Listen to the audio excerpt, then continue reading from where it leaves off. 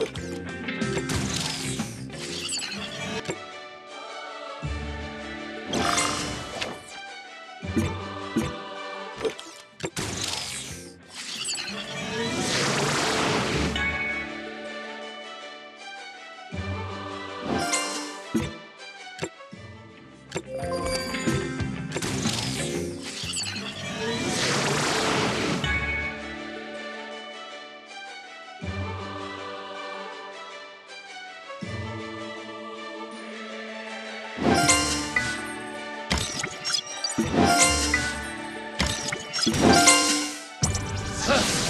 don't care what they call themselves or what they believe in.